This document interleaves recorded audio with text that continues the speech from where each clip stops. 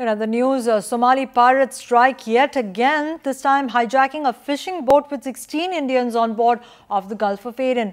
Maritime officials said that the boat had just unloaded goods at the Bossaso port in northeastern Somalia and was on its way to Dubai when it got hijacked. Authorities have already dispatched a security order to recapture the vessel. There is speculation that the hijack could have been due to some business deal that went sour. Earlier in the week, pirates seized a Turkish ship in the Gulf of Aden. These attacks have come despite the rough seas at these times of the year.